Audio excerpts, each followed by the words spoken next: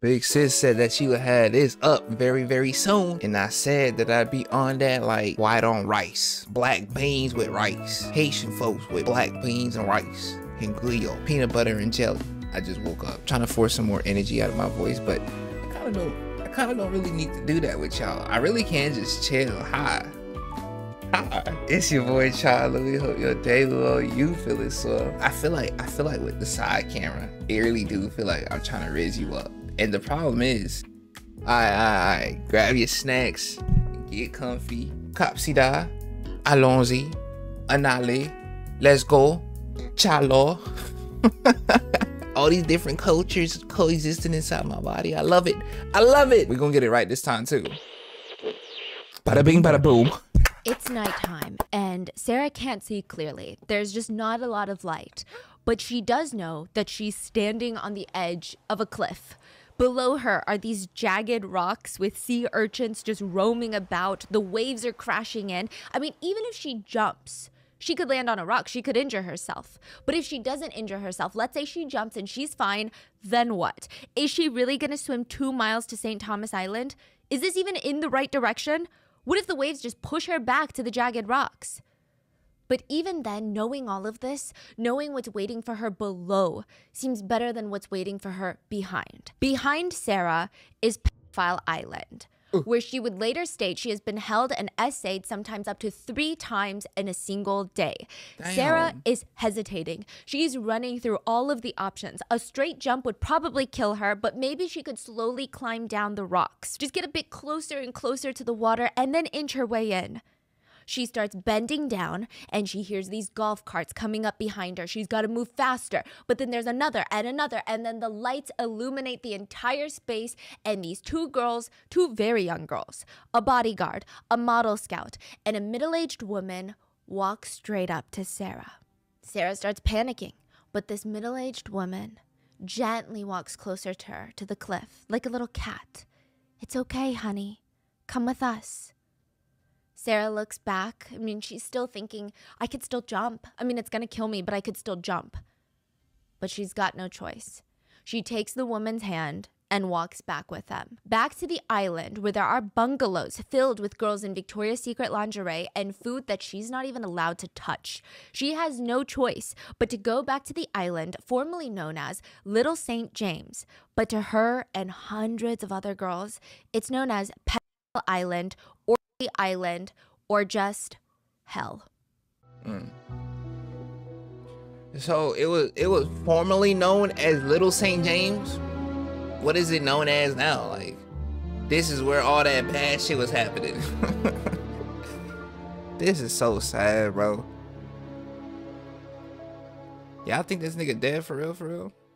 We would like to thank today's sponsors who have made it possible for Rotten Mango to support RAINN, the nation's largest anti sexual violence organization. They created and operated the National SA Hotline, and all resources will be linked in the show notes as well as the description. That's This fire. episode's partnerships have also made it possible to support Rotten Mango's growing team of dedicated researchers and translators. And we would also like to thank you guys for your continued support as we work on our mission to be worthy advocates of these causes. As here- always, full show notes are available at rottenmangopodcast.com. But there is a beautifully heartbreaking, I mean, gut wrenching book on this case called Silence No More. And it's written by Sarah Ransom. She is a victim of Epstein and Maxwell. And just her sheer tenacity to keep fighting for justice is beyond admirable. I would highly recommend checking the book out. Virginia Giuffre is another victim that was pivotal in Epstein's second arrest. Both of them have countless interviews as well as articles where they have shared their stories through their own words. Many of the other victims have as well, and I would highly recommend going to listen to those first. Some victims' names, identifying information, and dialogue have all been changed for privacy. Due to all the ongoing lawsuits for legal and professional reasons, we will be using the word allegedly, even if authorities or the general public believe it is a fact. However, our intention is not to cast doubt on victims' testimonies. Any and all theories mentioned are netizen speculation only. And with that being said, I want to make it very clear that all of the details in today's episodes can be easily found online. We are not investigative journalists, and if you ever feel in any episode that something was miscommunicated, misrepresented, or have any additional information that you would like us to know, please let us know down in the comments. With that Okay. being said, the very last episode that we've uploaded was part one of Jeffrey Epstein and Ghislaine Maxwell's crimes. I was- would I was there. Checking that out before diving into this one. We went through Jeffrey Epstein's death very briefly, his childhood, his life, how he made his money, a lot of the crimes that he committed. I'm still low-key not sure. that he had. And now this episode is going to focus more on Ghislaine Maxwell because she's got a very important part to play in all of this. We didn't talk about her at all. Not much at all. You but she's briefly been mentioned there her. the whole time. So with that being said, let's get started. Okay. Headington Hill Hall. I mean, it seems straight out of Bridgerton. It is this English style castle-like estate in England with 51 rooms, a tennis court, swimming pool, of course, 24/7 guards posted at the main entrance, fences with barbed wire on the outer layers of the property. There's video cameras drilled into tree trunks and the lawn doubles as a helipad.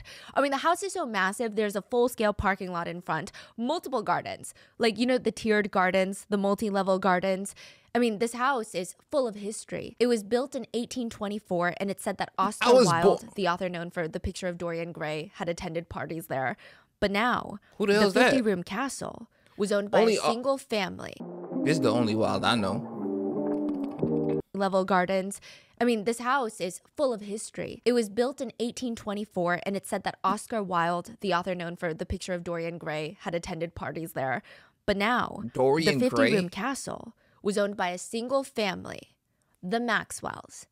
The Maxwells of Pergamon Press, one of the largest publishing houses in the UK at the time. Now, Robert Maxwell, the patriarch of the family, would later go on to own the Daily Mirror, which is one of the biggest publications in the UK with kind of a seedy reputation. They're they're considered more of a tabloid newspaper, but massive nonetheless. And Robert Maxwell was worth $1.9 billion. Damn. The Maxwells are not just rich, they're filthy rich. She was born rich. She was born with a diamond spoon in her mouth. During Christmas, there's usually this beautifully lit up three story tall tree inside the mansion. I mean, this is extravagance, it's opulence. If any of the Maxwell kids, like that word. Robert Maxwell had nine of them, if any of them wanted to know when this daddy's nigga was coming smashing. home, all they would do was wait for the noise of the helicopter.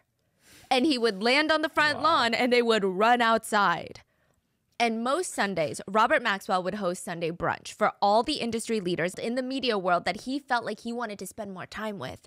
And he would invite them over to his house for brunch. Now, technically, this invitation is optional. I mean, you can turn it down if you want. Of course, you can. There's such a thing as free will. But it's Robert Maxwell, billionaire, controller of the media. I would hardly call it a choice. Perhaps you turned down a mm. Sunday brunch because you made other a- plans. he the a- next a day, your front page or- on Daily yeah. Mirror with an article about how your company is going down south or allegations about how you're a horrible person to work for. Damn. So every single Sunday, the men in suits, they would find themselves driving up this long, windy road past the lush trees through the giant property until they finally get up to Headington Hill Hall. You know what they called him, right? They called him a brazen, the impatient, rude, Oh. insufferable, intolerant scoundrel with a monstrous ego. That's what they called him in the press the other day. You know what Robert responded back? What? He said, I plead guilty to all of it. Damn. Oh. His poor wife, Betty, she's like a poor dormouse. She's so quiet, so shy. I mean, at a recent party he threw at the mansion, Robert, in front of his wife, was hitting on another married woman. And when that married woman said, Oh, no, thank you, I'm not interested, you know what he did? What? I heard he turned around straight to that married woman's young daughter, maybe 20 years old, and hit on her in front of everyone. Damn. The Maxwell family was known to be a bit strange. This nigga a Robert Maxwell would attend galas and work functions with this beautiful young woman on his arm. And if you didn't know, you might think that's his wife. Billionaire marries young, beautiful woman. It Not makes surprising, sense. yeah. She was always dressed in the most expensive gowns. I mean, he would stare at her lovingly and show her off to everyone in the room. Is that his daughter? She just beautiful. It was his 22 year old daughter, Ghislaine Maxwell. Hmm. So, when all the business executives walk into the estate for Sunday brunch, they are led to the formal dining room and they find Robert seated at the head of the table. He looks up to greet them. They smile. They look down near his legs, and there is his daughter, 22 year old Ghislaine Maxwell, kneeling at her father's feet under the table. Doing what? Just tears streaming down her face, eyes red, snot, everything. Robert Maxwell was completely ignoring her. Take a seat, everyone. Everyone at that lunch that day had to eat and talk to each other about business, make jokes with Robert Maxwell, uh, how's the printing business, all the while acting like Ghislaine Maxwell, the billionaire's daughter, was not at his knees under the table sobbing. It was bizarre. That But boom came like three days late. Final Cut Pro, what are you doing? Why is it twerking right now? Y'all see it twerking, right? What does it want from me?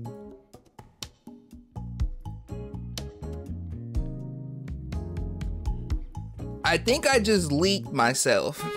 Let's go back to this situation. Can you explain, Stephanie? And there is his daughter, 22 year old Ghislaine Maxwell, kneeling at her father's feet under Why- the table. Like, why? Doing what? Just tears what? down her face, eyes red, snot, everything. Robert Maxwell was completely ignoring her. Why? Take a seat, everyone. Everyone at that lunch that day had to eat and talk to each other about business, make jokes with Robert Maxwell, uh, how's the printing business, all the while acting like Ghislaine Maxwell, the billionaire's daughter, was not at his knees under the table sobbing. It was bizarre. But there would just always be two men who Ghislaine's whole life revolved around. She did everything to please them, to make them happy, to feel loved by them. The first being her billionaire father, who would be found dead in the water near his super yacht with suspicions on whether or not he was murdered. Then, her billionaire boyfriend, who would be found dead in a prison cell with suspicions on whether or not he was murdered. Her father was the disgraced Robert Maxwell of Pergamon Press, and her boyfriend, the disgraced Jeffrey Epstein of Powell Island. Maria was running down the hall of the massive New York City townhouse. Some people said this place felt haunted. I mean, the color palettes were always mainly burgundy and deep, rich, dark colors, which is beautiful. I'm sure it all costs a fortune, but it has this suffocatingly grim, atmospheric undertone to it all. There was a taxidermied tiger in the office, a giant stuffed giraffe. There was a life sized female doll hanging from a chandelier in one room. And in the master bathroom, there were just boobs hung up on the wall. Not paintings, not Bro, this nigga was just a pervert, bro. Like a disgusting pervert. grim, atmospheric undertone to it all. There was a taxidermied tiger in the office, a giant stuffed giraffe. There was a life sized female doll hanging from a chandelier in one room. And in the master bathroom, there were just boobs hung up on the wall. Not paintings, not drawings, or even pictures. Fake breasts mounted on the wall, like suction cup to the wall, so the owner of the mansion could take a bath and play with the breasts on the wall. But frame it as artwork type of thing? I don't even think they were framed. They were just on the wall. It was like a villain in a cartoon movie was given a billion dollars. This is the type of house that they would build. But some rooms in the 40 plus room estate were genuinely beautiful. Some of the ceilings had elaborate murals painted on them. I mean, there we one was go. like the sky and the clouds with angels, and you look up and you feel like you're staring at the clouds. I mean, regardless of how beautiful these rooms were, there was just always this creepy energy about the place. And Whose house is this? Now. Maria ran to her room at the end of the hallway and she slammed the door shut and she looked around panicked. She moved this giant piece of furniture up against the door to block them from coming into her room. Who's she them? would stay there until she thought it was safe to escape. The night before, the wife, the lady of the house, as they call her, came to Maria in a bathrobe and asked her to follow her to the husband's room. The room that Maria's like never allowed to go into. Maria worked for them. She's not a guest, she's not a friend, she's not a colleague, she's a young employee in her 20s. The woman opened the door, and there was this middle aged man just laying in his bed. I mean, the whole energy felt obviously unprofessional, but Maria felt like she had to go with it. The lady tells her, rub his feet. What? Maria was disgusted. She didn't want to rub his feet. That's not what she was hired to do. I mean, what other option does she have? Get fired? So she sits down, removes the blanket from his feet, and starts rubbing it. She's trying not to be good at it so that she can leave ASAP. But the man asks her to sit in bed with him, in between him and his wife, partner, whoever she was. Maria felt like she can't say no. So she gets into the bed, into the middle, and they proceed to assault her together. Maria stated the wife was wiping her tears and rubbing on her. Eventually, Maria found the chance and the opportunity to get up, run out of the room, run down the hallway back to her room. Maria pushed up a giant piece of furniture to the door so that they couldn't come in, and she did not sleep at all that night. The next morning, she's trying to wait for them to leave for the day or leave for work so that she can run through this massive 30,000 square foot mansion to find a way out. And she's listening. And then her phone rings. She puts it up to her ear. Hello? It was the wife. Oh. What do you want? Nothing. I don't want anything. I'm going to the police. Maria called the FBI. She told them everything. She told them how she was hired to work at Jeffrey Epstein's mansion in New York City, where she was assaulted by Jeffrey Epstein and his wife partner. She doesn't know, but her name is Ghislaine Maxwell. She told them everything that she knew, everything that had been weird since she What did the FBI City. do? She met the couple in Palm Beach. She thought they were a married couple and they just were patrons of the arts. That's what they told her. Maria's an artist. She was excited when Jeffrey offered her a job in New York City to live in his townhome full time mm. in the city of art and help him purchase art. But when she gets there, that's not her role. Her role is to work the door. Every day, Maria would just sit by this big 15 foot tall oak door of the New York mansion, one of the largest private residences in the city, just like a few blocks from Central Park. And she would sit by the door with this white notebook, and her role was to log everyone that came in and out of the house. Is it- Really? Everyone had to sign in when they visited, even if they were just delivering something. I mean, it was mind numbing, tedious work. That was in her job description. But it also meant Maria saw everyone who came and went. She immediately noticed a lot of young teen mm. girls in school uniforms coming into the house. The first time it happened, she probably thought maybe it's a relative or something. But the second, third, fourth time, Maria's getting confused. She's getting alarmed. It's not like they have a high school kid that's inviting friends over. What business would this older couple have bringing high schoolers into their mansion? Maria gently brought it up to Ghislaine, the lady of the house, and she just told her they're here to audition for Victoria's Secret. You know, Jeffrey is very close friends with Leslie Wexner, the CEO of Limited Brands, the ones that own Victoria's Secret and Bath and Body Works. So I go and I scout for models at Central Park. They come in for an audition, and if they're lucky, they'll be models. From then on, Ghislaine would scout in front of Maria. It was just odd. Sometimes they'd be in the car and Ghislaine would be like, Stop the car. The driver would park in the middle of Central Park or near private schools. Ghislaine would just hop out, p- run over to a high school girl in her uniform, give her her number, and then run back to the car. That's insane. Just in the middle of New York. Yes. That's so brazen, bruh. Wow. And it was ballsy. They would target private schools where these are pretty privileged kids too. Maria would later see these same girls at the house, and the whole thing, I mean, I guess it made sense, right? But then Maria started seeing some red flags. Like what? She couldn't shake the feeling that they're not auditioning for Victoria's Secret. Like the whole thing is weird. Why? Side note: Maria herself is really young, so she doesn't know how these things work. But Right, I was about to ask how old- First of all, the parents aren't coming with them, which is weird. Like if Yeah. you're getting scouted to be a model for some sort of career, your parents would likely come. Second of all, some of the girls have braces. Maria's like, I don't remember the last time I saw a model with braces. And third, Mm, the girls were point. auditioning for Victoria's Secret, so Ghislaine said. And they're way too young to even have any breasts, really. Most of them didn't even have any breasts. So she's like, this is just kind of weird. Maria's sitting at the stool in the front when one of the young schoolgirls comes running down the stairs, crying, screaming, and just she just rushes out. Maria turns around and Ghislaine is standing there. Oh no, like what happened? What's wrong? She didn't get the job, that's what's wrong. Some girls are not cut out for modeling. Maria starts feeling really sick in that house. I mean, the way that Ghislaine talked about the girls, like they were auditioning to be models, and the way the couple treated the house staff. I mean, all the house staff were treated like useless peasants. Anyone that was deemed beneath the couple were subhuman. It was shocking. Sometimes Ghislaine would even call somebody a nobody to their face. At the entrance of this massive townhome, they actually have what they call the living chessboard. I'm starting to really, really dislike Ghislaine, bro. Figurines, and each one is a staff member, modeled after the staff member and custom made. They're all just chess pieces. I'm not So working there, bro. you're the house. You got me bent to the bone if I'm working at a place where I'm literally a chess piece. I hate being controlled in any way, shape, or form, bro. I hate having my path dictated by somebody else's. I'm leaving, bro. You got me. I don't care how much money that shit pays. What the? fuck? These folks is so rich that they're not even human anymore. even call somebody a nobody to their face. At the entrance of this massive townhome, they actually have what they call the living chessboard. It's a chessboard with figurines, and each one is a staff member. That's so modeled after the bro. staff member and custom That's actually made. wild. They're all just chess pieces.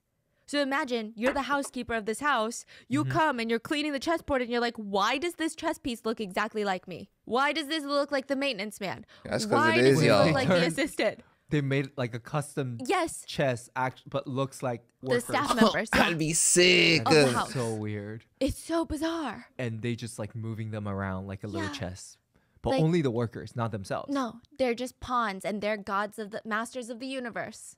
Oh, that's so sick and twisted. Yeah. Yeah. But also oh, wow. the psychology of coming to work and Yeah. you're on a chessboard. Bro, One I'd- day, I'd Ghislaine leave. walked over to Maria at the front and she pointed. Look at that pinhole right next to you.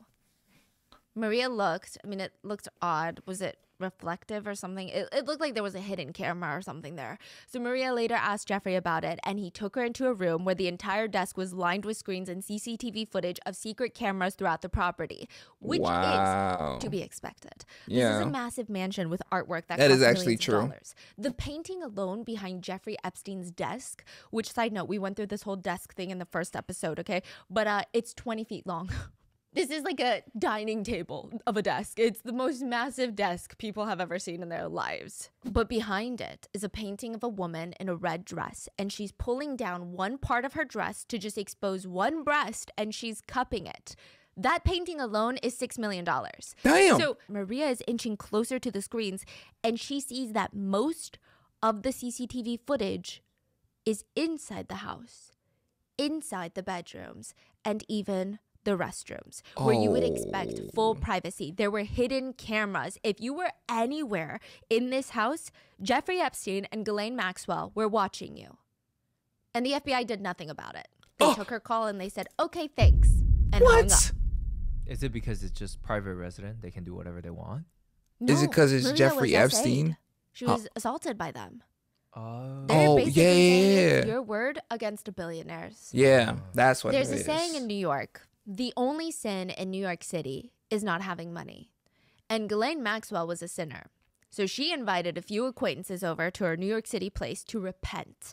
Now, I'm not sure if they all knew what they were there for, for a tea party. I mean, they show up to the address on time. It's this giant brownstone on the Upper East Side, and they knock on the door, and a staff member of the Maxwell New York City property ushers them in. So this is not Jeffrey Epstein's house. This is Ghislaine Maxwell's New York City townhouse.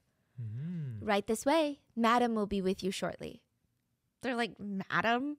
They step into the foyer, and absolutely nothing in this house is settled. I mean, everything is in your face, but it's not tacky. It's not, it's like eclectic. It's rich, it's in your face, but it's just interesting. I mean, rich people are so weird. Take it whatever you way you want, but it's not beige. The whole place is royal blue, red, and black. There's ornamental china everywhere. I mean, it don't There's look bad, I'm not gonna hold you. It's just fascinating. Yeah. They get ushered up to the living room where they find Ghislaine, surrounded by her father's photos, family photos, business awards that her dad received, and she's just weeping on the floor. No introductions, no hellos, no pleasantries. Ghislaine just starts allegedly screaming at them I'm broke! I'm broke! I'm broke! She was wearing nothing but her undergarments dripped in expensive jewels like diamonds all over her neck, wrists, fingers, weighed down by diamonds, pearls. She had a It- full face of makeup on. Is she She went from screaming to quietly, but still dramatically complaining to everyone. And side note, people said that her voice was always like a low purr. Hmm. I'm broke. Do you hear me? I'm broke. The guests look at her. I mean, this is so over the top. They're in a very clearly expensive brownstone. I mean, if you're really broke, you could probably sell that samurai armor suit downstairs. They're staring at all the diamonds just dripping from her neck and wrist. You're it not was, broke. even by high society standards, very out of touch. It was so abnormal. What's going on? yeah, what's Yeah, wrong with her? Clothes, She's having a moment. But What, she like- had all the jewelry's on. Exactly. It's So like what- Is this a choice she made? It seems like it. Okay. It seems like she wanted to be in some sort of soap opera. But everyone there, they they try to be sympathetic. Ghislaine Maxwell was a sinner. She had no money anymore because Robert Maxwell, her beloved father, was dead. Robert Maxwell was found naked, dead, floating in the ocean near his $15 million super yacht named the Lady Ghislaine. Oh yeah, he probably was After his murdered. I'm favorite not gonna lie. After his Really? favorite. Ghislaine was daddy's little girl, his little mascot. So it's very understandable that she was very distraught over his death. But it, even this was just a bit much. But wouldn't he just leave everything to her? Oh, we're gonna get into it. Yeah, Even like when Robert Maxwell was still alive, Ghislaine was incredibly proud to be his daughter, but in kind of an alarming way. She once pulled aside a family friend of theirs, and I guess they're slightly disagreeing on something, and she turned on him and she said, Don't forget, I'm daddy's girl. And he was like, What? Okay. Okay. Then she would turn around to her dad, and suddenly she'd be very quiet and timid and snuggle up on him, sit on his knee. She worked her dad. I mean, she knew what he wanted from her, and she became this blank canvas for him. But now, now he's dead, and nobody knew why. I mean, they did, and they didn't. Uh, is that pick me behavior or was she being groomed? I don't know. I don't know. Cause that's that is a little alarming. I'm not gonna hold you. But now, now he's dead, and nobody knew why. I mean, they did, and they didn't. Three pathologists disagreed on the exact cause of death. There are theories circulating that he had a heart attack and fell into the water, then died by accidental drowning. What's the One second? person close to Robert Maxwell argued that Robert always woke up in the middle of the night butt naked. He would walk over in the dark to the edge of his yacht to pee off the side. They speculated that he probably fell and drowned. Side note Robert Maxwell had a thing for urinating off of the sides of things. Allegedly, he urinated off the top of the mirror paper headquarters, just like the roof. So a stream of pee was shooting down. I digress, but yeah. Others thought, This is so out of this Yeah. world, bro. You think that Okay, but here's the thing though. That's probably the only thing that I can kind of feel. I ain't gonna hold you. That's probably the only thing I can resonate with, bro. I love peeing off the sides of things too, bro. What? I pee off the side of this roof all the time, bro. It's a vibe, bro. I don't know what it is. I think I just like being outside. It's like so weird though. Like just like the roof, so a stream of pee was shooting down. I digress, but it might have yeah. hit somebody too. Others like, This is so out of this Yeah. world, bro. You think that's out of this world? Robert Maxwell had known links to the British Secret Intelligence Service, as well as the Soviet KGB, as well as Israeli intelligence. He was a secret spy for like all three of them. What? The speculation was that he might have known something that he shouldn't have, or maybe he got cocky and he thought that with his billions of dollars, it would protect him from some of the most powerful entities in the world, and he started asking for things. Or maybe he was trying to get more for his end of the deal whatever deal he had with them. I mean, obviously, this is purely speculation, but people argued knowing Robert Maxwell's personality, where he is constantly described as a bombastic, egomaniacal bully, nobody Ooh, thought bombastic. he would have like gone quietly. Nor would he have self exited. Right. So there's a lot of theories circulating that he was murdered. And some people just believe that no, he self exited on the Lady Ghislaine near the Canary Islands. Because a few weeks after Robert's death, Maxwell's empire caught fire and burned to the ground. Authorities discovered a half billion dollar hole in the pension funds of the company. He had taken from his employees' pension so that he could stay afloat. When oh. Robert Maxwell died, his net worth was negative $1 billion. Damn. It's speculated that he realized this and there was no more that he could do. They were going to go under. The boat was sinking, so it's either go to jail, live in disgrace, or exit off the Lady Ghislaine. So the speculation is he mm. chose to exit. That's what some people speculate. Ghislaine doesn't believe that he would have self exited, but none of that mattered. The Maxwell family name was wrecked, and she could either stay in London where everybody hates her guts and try to rebuild it from the bottom up, or she could move to a whole new city and see if she could reinvent herself. That's exactly what she did. Ghislaine Maxwell came to New York City, got a place on the Upper East Side, and the obvious answer for someone like Ghislaine is to either A, get a job. I mean, you've got a degree from Oxford, one of the top five universities in the world.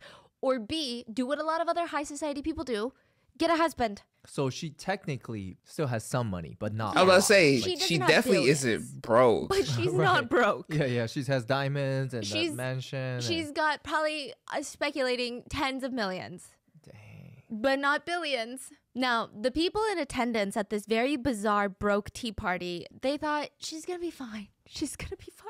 First of all, she's not broke. Second of all, she's just gonna find another man to finance her life, and that's okay. yeah. Because Ghislaine was always the type of girl that guys liked.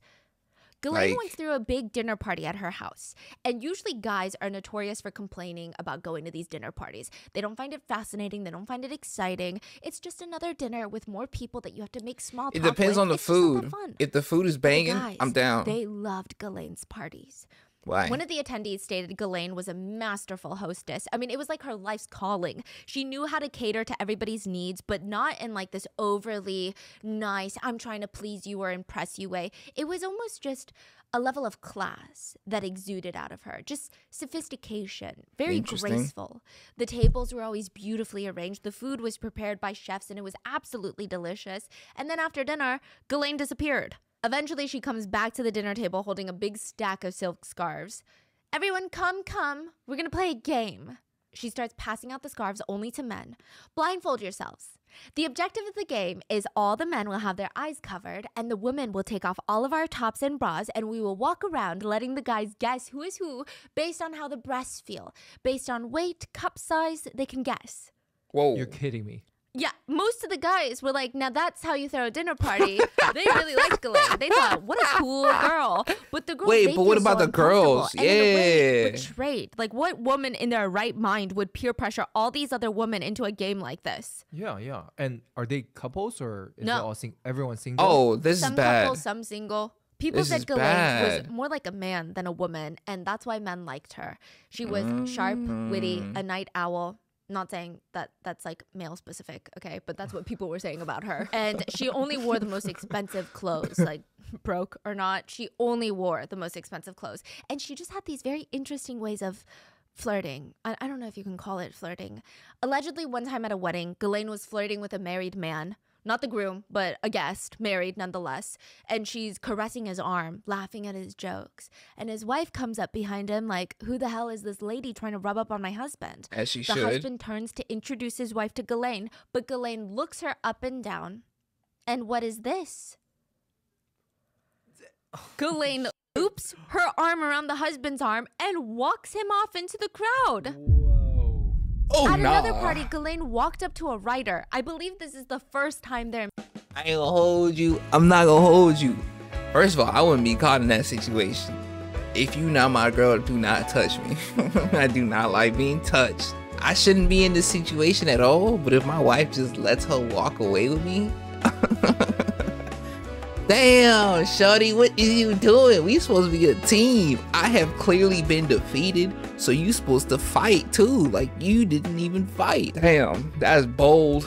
That's so fucked up though. Like who the f- At another party, Ghislaine walked up to a writer. I believe this is the first time they're meeting. This writer is married. They're three minutes into a random, bland, pleasant conversation, small talk. The writer's wife is like five feet away. Ghislaine looks him in the eye mid conversation, interrupts him. If you lose 10 pounds, I'll f you. Another guy dropped her off at her townhouse, and when she got out of the car, she leaned down through the window and said, If you come in and f me, I'll tell you the secrets of my father. It was, um, aggressive. It's like the concept of whatever I want, I get. It was just embedded into her DNA. Entitled. It It's appears like she could bro. not process any other outcome for her life. Other times, it wasn't as straightforward. She would allegedly meet a man at a high society party, lift her eyes up at them, and a lot of them describe her way of looking at people as utterly compelling. She was very charismatic, very magnetic, almost There's nothing going on between her eyes, bro. You can tell. She got them cat eyes, like fishbowl eye stare. Like it's not compelling at all. I feel compelled to tap your forehead. Like, is you straight, shorty? very charismatic, very magnetic, almost in a cruel way. Like you know that she's mean, but for some reason you want her to like you. The moment she looked at you, you would engage in two seconds of small talk with Ghislaine because this is your first time meeting, right? And you'd say things like, Well, I, I work in finance and the main object. Will you take me out to dinner? She would just say it so casually, like, Oh, I like your pants. Kind of like that. And it worked most of the time. I mean, it didn't hurt that is beautiful. She's really electric. You wanted to be around her because it almost made you feel good. Like, this is a really cool person. And if they enjoy spending time with me, that must mean I'm cool. That's how Ghislaine made you feel. So one of the guys ends up taking her to dinner to this nice little restaurant. And for the first half of dinner, I mean, everything's going well. She's a great conversationalist. I mean, nothing ever felt boring with her. And then halfway through the dinner, the conversation of her dad comes up very subtly. It's not like he's like, Who's your dad? Tell me about your dad. Did he die? What happened? It just seemed casual. It would have been one remark and that's it.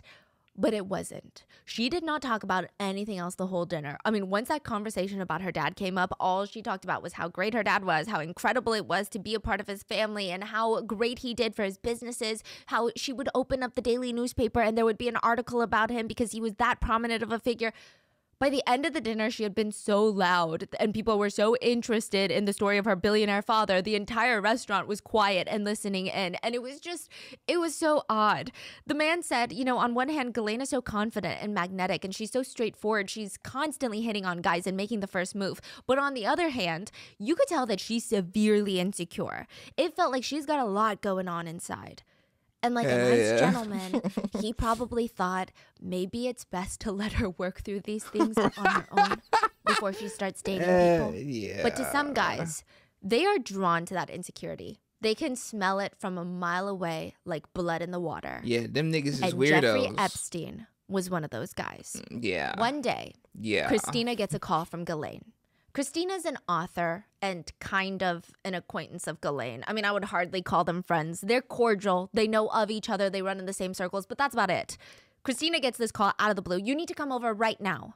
Christina rushes to meet up with Ghislaine at her apartment, and the minute that she walks into the door, it's like she's getting pitched. Ghislaine is confident, her voice is strong. You're gonna make a lot of money, Christina. You are going to meet everyone. Your life is about to change. I'm sorry, what's going on? right? Live with me for a year. Move in so you can learn everything about me. And you're going to help me write a book. I'm sorry, what?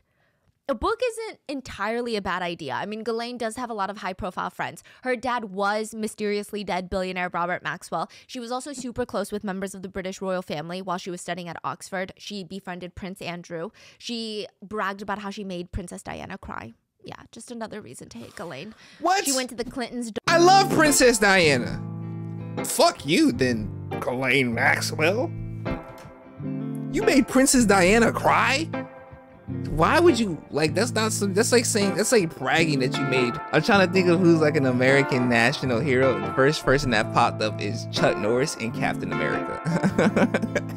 Her dad was mysteriously dead billionaire Robert Maxwell. She was also super close with members of the British royal family while she was studying at Oxford. She befriended Prince Andrew. She bragged about how she made Princess Diana cry. Yeah, just another reason to hate Ghislaine. She went to the Clintons' daughter's wedding. I mean, she was connected to all the people who ruled the world. But it's still such an odd random request. Like, they don't even know each other, live with her for a year, like, drop Yeah. everything in Christina's life and live with Ghislaine for a year. Do people even care that much about her at this point?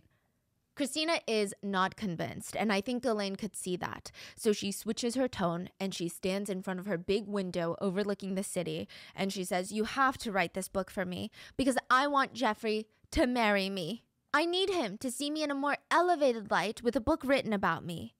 He'll do it. He'll marry me if there's a book on me. Okay, Christina's like, now it's clicking. Christina now understands why she was called out of the blue. Everyone who even knew of Ghislaine in New York City, everyone in these circles knew that she was absolutely infatuated with Jeffrey Epstein. The author that Ghislaine invited, she knew this. Just a few months ago, there was an incident that she thought was kind of strange. Whether it was genuine curiosity or just like a small talk sake, the author asked Ghislaine, My goodness, Ghislaine, how are you keeping yourself so thin? Ghislaine looked at her and very confidently, like this is not a raging red flag, said, Jeffrey likes his girls thin. Well, still, how do you do it? Well, did you ever see anyone in a concentration camp with any weight on them? No, because they didn't eat. So I call it the Nazi diet. I just don't eat. Side note, both Ghislaine and Jeffrey Epstein were Jewish. So that is a really bizarre. what? She just says, I just don't eat. The reason that Jeffrey keeps me around to begin with is that I don't make mistakes. It was such an odd conversation. What does that even mean? Are Yo. they dating? If so, That's low key sad, bro. Cause, damn, who wants to live that way? Shuddy don't eat.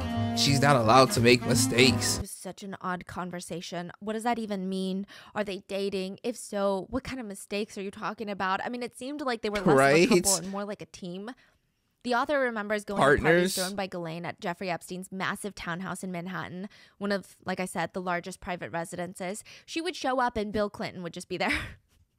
Whoa. Or sometimes Prince Andrew would just be in attendance, you know? And it seemed like a two person team. Ghislaine would be connected to all these powerful people through the Maxwell name. She would bring them to Jeffrey into his den, literally and figuratively, and he would do business with them. So Ghislaine was more old money in that sense. Mm-hmm. But not really. Okay, so it's complicated. The Maxwell family were actually ridiculed often in the UK for being nouveau rich, like new money rich, just obnoxious. They're not aristocrats. They're not royalty. They're not classy. but So like the Malfoys. With a lot of people with titles. Okay. So compared to Jeffrey Epstein, who's So they ain't they ain't like long bottom black. this is such nerdish talk, bro. Ah, that's the only way I can understand it, bro. I come from dirt poor and poor poor. My sis just got rich, you know? And that ain't got nothing to do with me. And she was probably raised with the notion that daddy's approval is the most important thing ever. Now she's looking for that approval in Jeffrey Epstein, but it's fucked up what she's doing. But it don't matter. Like I don't understand how you can ignore everything that you've been doing for the approval of somebody else. Sense. But not really. Okay, so it's complicated. The Maxwell family were actually ridiculed often in the UK Nouveau for being l'argent. nouveau rich, like new money rich, just obnoxious. They're not aristocrats. They're not royalty. Nouveau, They're I not know what you meant. Nouveau but is they're funny. still connected with a lot of people with titles. Mm. So compared to Jeffrey Epstein, who's just this vulgar finance dude on Wall Street, I mean, she's got connections. At the Mm. stage that when they met, what stage of career is Jeffrey Epstein? Like he's already made it at that no, point. he's Oh, kind of on his way. Like I would say he's made it, but probably not to the status he will be through Ghislaine. uh, so Ghislaine's genuinely just attracted by this She's person instrumental. rather than his status. Oh no, he has money. No Okay. status, but he's got money. So she likes the fact that he's rich yeah. and she just genuinely really attracted to him. Yeah. So he he still has Mm. that New York City apartment by the time that Ghislaine is inviting all these people over. The biggest. the biggest private residence Okay, in so New York he's City. very, very wealthy already. Yeah, yeah, yeah. But I, I don't think that he He's, was like, at his old peak in level? terms of finances when they first met. Okay. I think through Ghislaine, he ends up making a lot more money. Now, Epstein was really not a likable person, even in Ghislaine circles. I mean, to give you context, Epstein had some powerful friends. So, if you remember from part one, he was friends with like Leslie Wexner, the billionaire behind Limited Brands that owns Victoria's Secret. But Epstein's circle is still, like I said, limited to this finance world.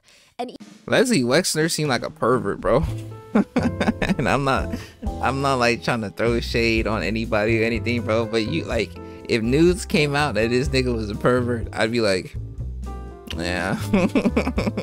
there's a part of me that's saying he seems like a pervert, and then there's another part of me that's saying he seems like a really friendly guy. Like, like he his smile seems kind of personable. It's just the image. He's the the owner of Victoria's Secrets, like the lingerie. I low-key expected it to be a woman, bro. Why is it an old man? Like Ghislaine circles. I mean, to give you context, Epstein had some powerful friends. So if you remember from part one, he was friends with like Leslie Wexner, the billionaire behind Limited Brands that owns Victoria's Secret. But Epstein's circle is Leslie still, like Loki, a said, girl name. to this finance world. And even there, Epstein was just a bit too much. Like either you hate him for being so vulgar and bizarre, or you like him because you convince yourself, wow, this rich guy doesn't take himself too seriously. Hmm. Ghislaine, she's a Maxwell. She went to Oxford University. She's very close friends with Prince Andrew. I mean, he threw her a birthday party in England once. She's close friends with the Clintons. It's just a different league. Side note, allegedly, whenever Jeffrey Epstein and Prince Andrew were at a party together, people said it was the most boring party in the world because it seemed like they had, allegedly, this competition was who could look the most disinterested and bored. What? Yeah, so the two of them, they would just be sulking in their corner. They looked like they were too intellectual, too high class to be entertained by anything. Another source that was at one of these dinner parties said Prince Andrew thought it was absolutely hilarious that people were so fascinated by Kate Middleton's wedding. So this was like right before they were going to get married and he thought it was so he was in hoots because everybody was like what is she going to wear? Oh my gosh, who's coming? Who's invited? And he just thought, look at these peasants. What? This is so funny. Ghislaine's friends thought Jeffrey Epstein was weird. I mean, You're literally a prince. You're a prince of an entire situation, and you're over here beefing with a nigga who just got money. and he just thought, look at these peasants. What? This is so funny. Ghislaine's friends thought Jeffrey Epstein was weird. I must be I too mean, broke to understand the joke. His New York City apartment was strange, strange design. But also at these dinner parties, if they were mid conversation and Jeffrey Epstein found himself getting bored, he would just interrupt everybody and scream, "And what does that have to do with pussy?" That was his favorite saying. Ghislaine would be the only one sincerely laughing. Everyone would just be glancing at each other and awkwardly chuckling because what the hell is that?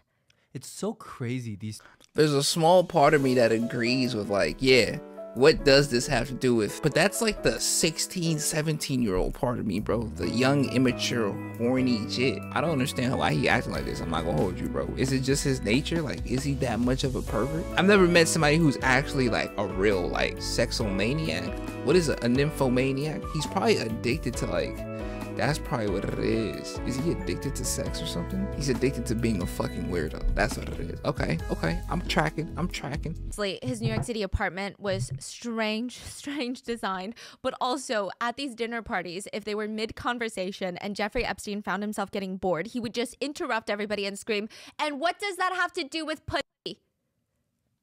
That was his favorite saying. Ghislaine would be the only one sincerely laughing. Everyone was just be glancing at each other and Ghislaine awkwardly is a- chuckling because what the hell is that? She's a pick it's me, so bro. crazy. These two found each other. Yeah. They're They- so opposite. weird in their own way already. I, A I can match made see in hell. right. I already can see how this is gonna like go Escalate. uh, re- Yeah, yeah, exactly. Ghislaine's friends would ask her, Wait, so what does he do for work? Oh, he's the money manager. But he only takes on clients with at least a billion dollars to manage. So now, Christina, back in the apartment, is no longer interested in writing Ghislaine's book. She's not going to waste a year of her life writing a book for Ghislaine just so Ghislaine could get proposed to. Like, what kind of deal is that?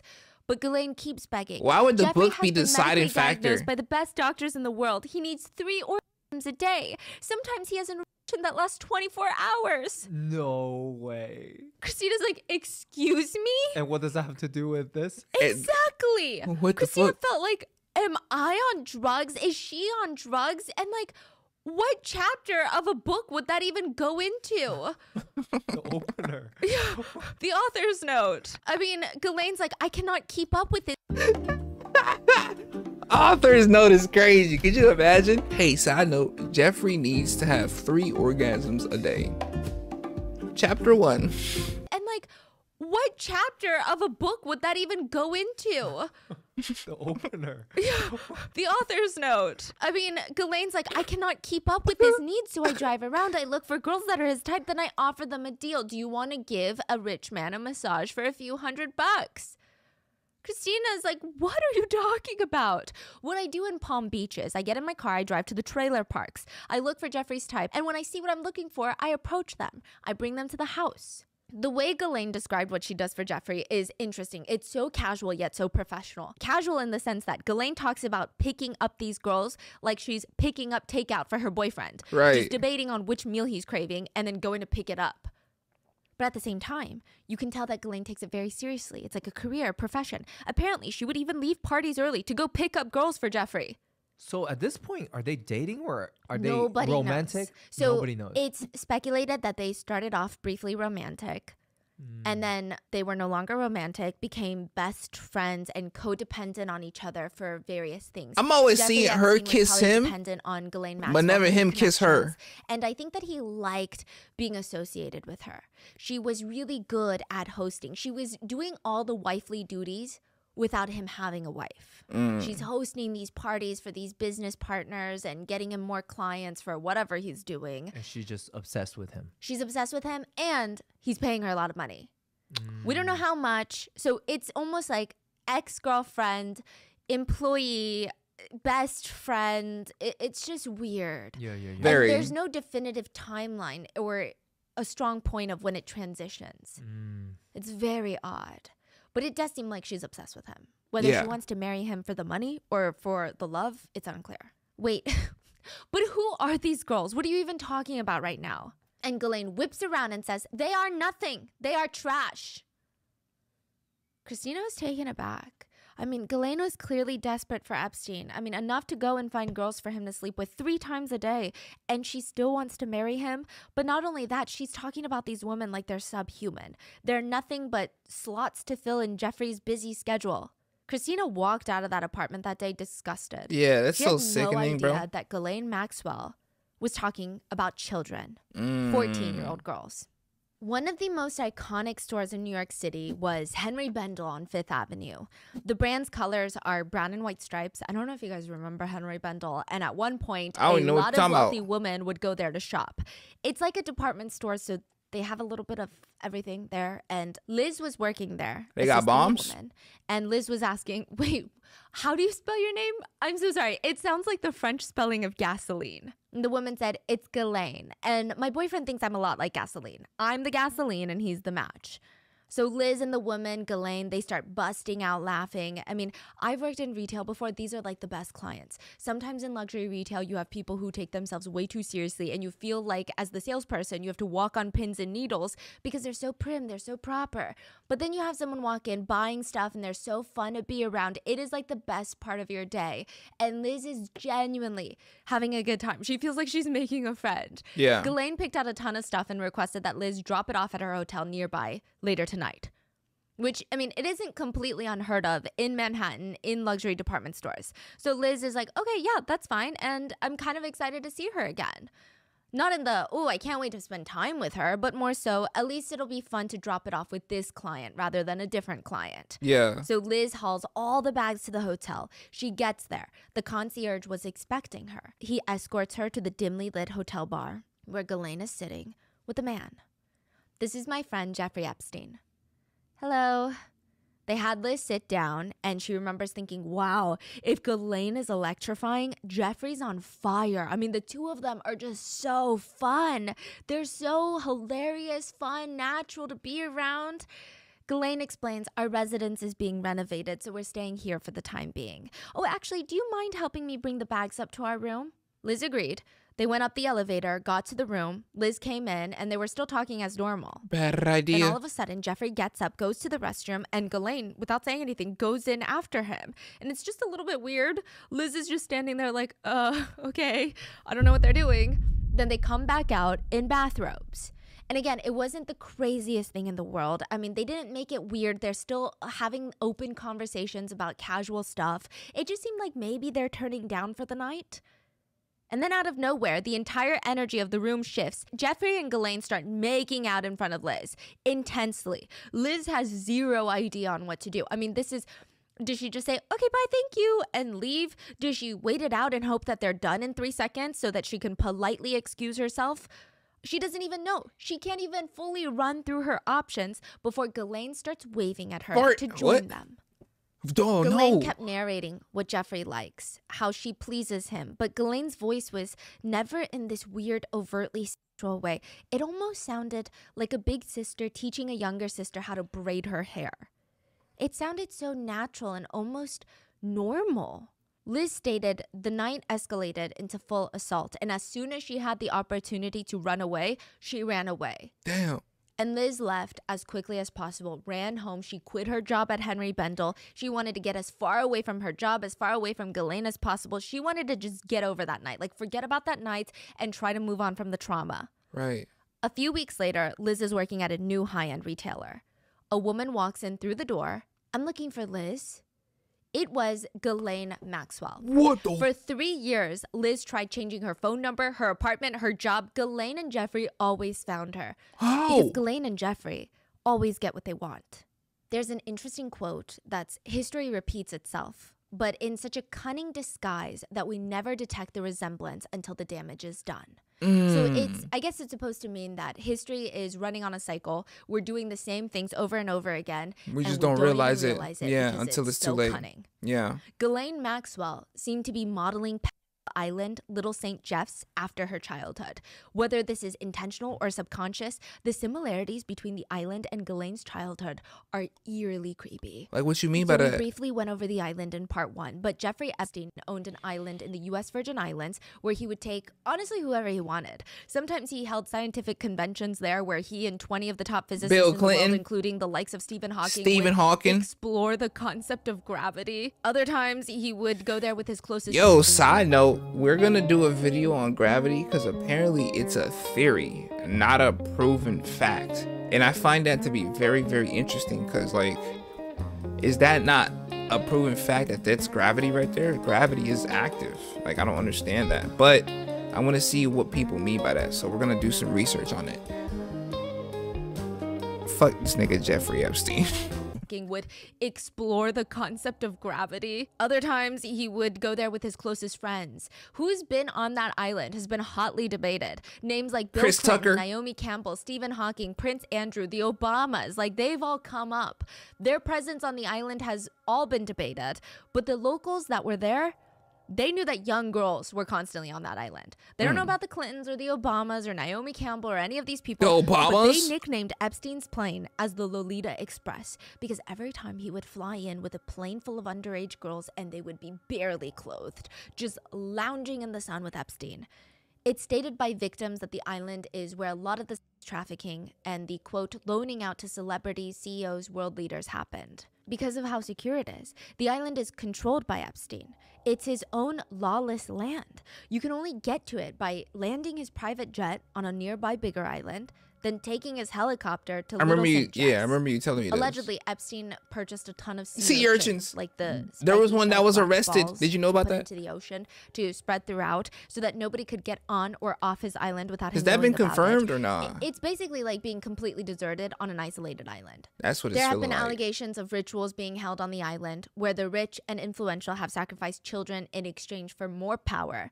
Allegations of group intimate relations with world leaders and underage children. It's also alleged that what we know about everything that happened on the island is only tip of the iceberg. It's stated that a big group of Jeffrey Epstein's victims on the island were foreigners, underage foreigners from Eastern Europe that were flown in to be trafficked, abused, and then flown back with threats and fear.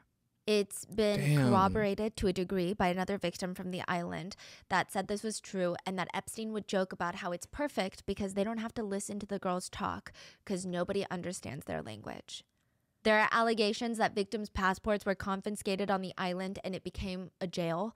They had lost all ability to say no to anything. They were completely powerless. But the frustrating thing is, we don't know for 100% certain what happened on that island. We know bits and pieces from victims, but the full scale of all the crimes that took place, I don't know if we'll ever know. Because But I can is present dead, you right? with some of the stuff that we do know. And what we know He's about dead. this island and how it was run, it seems alarmingly similar to Ghislaine's childhood. So I'm going to try to give you little bits and pieces of both because it's kind of eerie. It, a lot of this was told in Sarah Ransome's book, where she was lured to the island by a friend of hers. She was recruited essentially to the island. She gets there, her passport's taken, she has no way off, and she's being assaulted. Damn. It's bad. So, growing up, Robert Maxwell, Ghislaine's father, believed that his whole life, women are just there strictly for men's pleasure. I mean, they're strictly there as objects to be used at his convenience. He would hit on other women in front of his wife. He would hit on those women's daughters in front of that woman and in front of his wife. I mean, women for him were just a good time. That's it. On the island, Sarah remembers Ghislaine was going to be arriving separately from everyone. And Sarah was so nervous and excited to finally meet this woman that every other girl on the island was talking about. Some even called her Mama Bear. One girl told her she's powerful, wealthy, and she knows everybody. Don't cross her, just stay out of her way, and you're going to be fine. Just do whatever she tells you to do. When Ghislaine's helicopter landed, Sarah nervously waved hello when Ghislaine got off because what else are you supposed to do? Ghislaine looked her up and down, walked past her, because to Ghislaine, just like Robert Maxwell, Sarah and these other girls were nothing. They are trash. Growing up, Ghislaine's dad trained her to be some sort of some sort of arranger, connector. She was always putting two people together. So when her dad Robert would host parties at the Hill Hall, Ghislaine was expected to bring people she thought would be interesting for her dad or bring people that would be interesting for her dad's friends. i.e., very young woman. And she was really good at it. Ghislaine would always find the right people to connect. She knew how to read people. She knew how to read the room. She knew exactly what people were looking for. Ghislaine would make such seamless, smooth introductions between two parties that you would never even know that all of this was masterfully planned and meticulously executed by Ghislaine. She just had a way of making everything, normalizing every single social interaction. On the island, Sarah claimed Ghislaine would wake her up in the middle of the night to go service Epstein. Even if she told Ghislaine she was bleeding from the assaults from earlier that day, Ghislaine would calm her down and forcibly drag her if she needed to, because her job is to connect the two. She's there to arrange the meeting between Sarah and Jeffrey Epstein, and she was going to get her job done. Growing up, it said Ghislaine developed an ED at just three years old. They say it's one of the main reasons that the Maxwells spoiled Ghislaine more than the rest of the kids. Her parents felt like she was really neglected when she was a baby. So right around the time of What is Ghislaine's that? birth, the eldest son of the Maxwell family had slipped into a coma. And a lot of people were just not paying attention to Ghislaine. And it's speculated by Ghislaine's parents that Ghislaine developed a terrible eating disorder at just Oh, three eating, years old eating, to try and receive some attention. On the island, Ghislaine tells Sarah she's too heavy. You being 5'9 and 146 pounds is not to Jeffrey's liking. Ghislaine would make sure that all the delicious food that the chef prepared were off limits to Sarah. All the snacks would be locked up. When the rest of the group would sit down to eat, Sarah was given thin slices of cucumber, tomato, and tiny, tiny portions of meat. The other girls would glance at her, and Sarah, she can't leave this island. She's being abused. There's no way out. There's no escape. She's miserable, and now she's being starved. Damn. She's taking giant gulps of water in between bites of cucumber to try and fill her stomach. Growing up, Ghislaine had these Sunday weekly reviews. Every Sunday during family dinner, the Maxwell kids would be instructed to stand around the dinner table. They can't sit down. They would have to stay standing until Father Maxwell would walk in and the room would be silent. Everyone would have their shoulders pushed back, their chest forward, and they would wait for him to sit down at the seat at the head of the table. And he would probably say something along the lines of, Proceed. The children would have to go one by one, giving a full presentation to Robert Maxwell about what they did this week, what they achieved, and what they hope to achieve next week. If he didn't like their responses, they don't get to sit down, they don't get to eat. He would take off their belt and whip them, and then send them up to their rooms where they would have to write him an apology letter after getting whipped. On the island, Ghislaine would have Sarah stand up at the dinner table and had all the other girls point out all the quote fat parts of her body. And she would laugh, You're enormous. If you didn't eat for an entire month, you'd still be overweight and disgusting. Other days, she would grab Sarah's waist at the dinner table, have Sarah stand up and start poking at her waist. Look how massive you are today. It looks like we need to cut down even on cucumbers. Ghislaine told her the only acceptable weight for her at that height was 114 pounds, which would actually classify Sarah as underweight. That's under. yeah. But Ghislaine did not care. Growing up, Ghislaine's mom never stepped in to help when the kids were being belittled or berated by Robert Maxwell. She took a very passive approach. Some would even argue that she let it happen. On the Of island, course she there were a lot of girls that looked at Ghislaine like a mother figure. Chauntae was one of those girls. Chauntae. Chauntae Who came the hell to the island because she thought this was a great opportunity to become a masseuse. She remembered the first time on the island, she felt like she was in a fantasy land. She was a princess. Everyone had their own separate villas that were separated from each other, and the beautiful candlelit dinner. I mean, Chauntae went back to her villa, and someone had lit a candle in the room, left a book on the nightstand, and had a mosquito net set up around her bed. It's like a dream. She remembered the first night she plopped down on her bed thinking, this is gonna be the best job in the world. I get to travel the world and I just do massages. Incredible. She starts reading her book. She's getting ready to fall asleep when she hears a knock on the door. It's one of Epstein's assistants. Jeffrey's ready for his massage. Chauntae thought it was odd, but she was hired to be a masseuse, and technically it's a private island. Maybe island time works differently. I mean, she tried to convince herself this is completely normal, right? Because if you're hired to be a private masseuse, it's not like you just work business hours. She follows Jeffrey's assistant, goes to his villa. The massage table was all set up and the waves were crashing Damn, outside on bro. the rocks. And Chauntae kept thinking, well, okay, this is a little uncomfortable, but at least Ghislaine is nearby. Because I don't know if that's his girlfriend or his wife or what, but She's like the mom of the group. Chauntae waited for Jeffrey and he burst in with a rope, threw it off, and climbed onto the table. He looked incredibly smug, she said. Then he grabbed her wrists and tugged her toward the bed, pulled her on top of him, and he assaulted her. She stated the more she struggled, the more fun he was having. When he was done, he just jumped up, left her there, hopped into the shower. Chauntae said she was so traumatized, she got up, threw on her shorts, ran all the way back to her villa without her shoes, cutting up completely. The whole bottom of her feet was all bloody, and she cried herself to sleep. And she kept thinking, there were so many people. Ghislaine was there. She was nearby. She knew Ghislaine heard her scream, and Ghislaine did nothing. There were 70 staff members on that island. How did they not see anything? I mean, mm. Ghislaine warned the employees that there would be a lot of women around. She explained it to the employees as they're going to be bees around the honey pot. But I'm queen bee. Always remember that. And it was impossible to forget. Ghislaine was a demanding bee. There were about 70 staff members on the private island alone. Some of them called her Hurricane Ghislaine. They said whenever she got to the island, all tranquility, all peacefulness, out, gone, out the door. And her way with staff was to treat them, quote, like the help. I mean, she was ruthless. The workers there were explicitly told not to be seen unless requested, and they weren't allowed in most buildings where the abuse was taking place. So many victims stated it's perfectly understandable that some of the staff didn't even know what was going on. But they mm. say a photo is worth a thousand words. They say that? And Who there's said a that? painting of Bill Clinton that was saying a lot.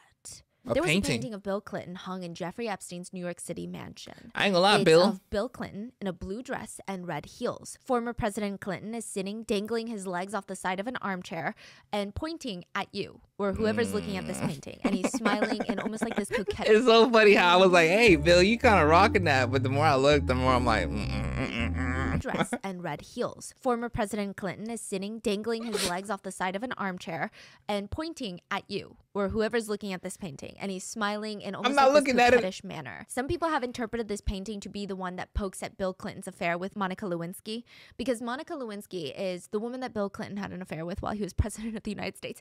Side note, the power imbalance there is like a whole other story for another day. But she wore a iconic blue dress that was stained with the president Monica Lewinsky. I mean, Monica Lewinsky is low key gorgeous. but she wore a iconic blue dress that was stained with the president's bodily fluids after an intimate incident that they had. She wore the blue dress for the rest of her day working as an intern in the White House because she thought it was spinach dip that she had spilt on her dress. It was not spinach dip. I mean, I guess it could be argued that it's the blue dress Hillary Clinton wore to the 2009 Kennedy Center honors. It's not, but it could be. I guess art is about who interprets it. And the uh, uh, uh, Bodily fluids. Young Hillary was low key pretty. It's not, but it could be. I guess art is about who interprets it. Bodily fluids. and the interpretation that the internet had of this painting being hung in Jeffrey Epstein's New York City estate was he was sending a message. Because if he knows Bill Clinton personally and still purchased this piece of art and hung it up, it almost felt like he was outwardly telling people, I have stuff on Bill Clinton. I have stuff on everyone. Hmm. I can make fun at former presidents because what are they going to do to me? Jeffrey Epstein was also known to keep a collection of photos of very powerful people that he had ties to, allegedly. He had a wall of photos that included Woody Allen, Bill Clinton, the Prince of Saudi Arabia, Pope John Paul II, and Cuba's Fidel Castro. Now, just to preface and disclaim, just because there are pictures of them on his walls doesn't mean they were in any way friendly with one another or even Fidel each other, or even if they did, that still does not explicitly imply guilt of any sort of crime or even morally corrupt action. So don't kill me.